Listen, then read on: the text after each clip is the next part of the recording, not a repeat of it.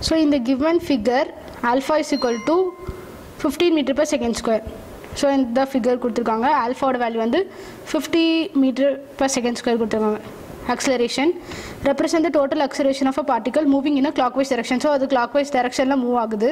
Of radius வந்து two point five metre at the given instant of time the speed of the particle so நம்ம speed of the particle கண்டுபிடிக்கணும்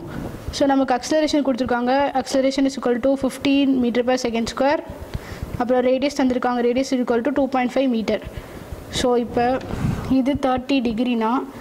இதோட resultant இப்படி இருக்கும். So this is cos theta அப்போ இதுவும் thirty டிகிரியாக தான் இருக்கும். ஸோ அப்போ cos thirty degree A is equal to V square by R so A is equal to V square by ஆரில் நான் ஏக்கு வந்து காஸ் தேர்ட்டி டிகிரி யூஸ் பண்ணி போட்டிருக்கேன். ஸோ ஏ கொடுத்துருக்காங்க fifteen metre and cos thirty degree is equal to V square by R நம்ம speed தான் கண்டுபிடிக்கணும் velocity தான் கண்டுபிடிக்கணும். அப்போ V square is equal to R into fifteen into cos thirty degree so cos thirty டிகிரியோட value root three by two ஆரோட value கொடுத்துருக்காங்க two point five into fifteen into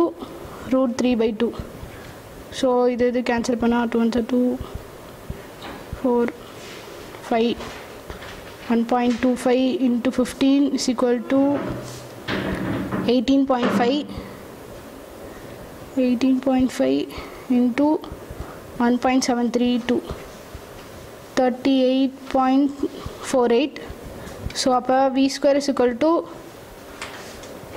thirty eight point four eight அப்போ V is equal to அதுக்கு